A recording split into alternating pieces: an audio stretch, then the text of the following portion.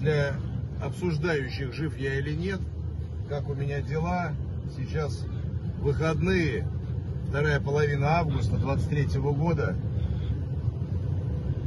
Нахожусь в Африке, поэтому любители обсуждения моей ликвидации, интимной жизни, заработков там или еще чего-нибудь, собственно говоря, все в порядке. Это видео подкрепило сторонников теории заговоров в мыслях о том, что основатель ЧВК «Вагнер» и так называемый повар Путина инсценировал свою смерть.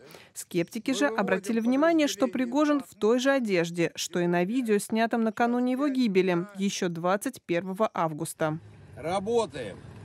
Температура плюс 50. Эксперты считают, что ролик был записан в Мали. После этой съемки Пригожин прилетел в Москву на самолетах Ил. В столице он пересел в свой бизнес-джет, чтобы вернуться в Санкт-Петербург.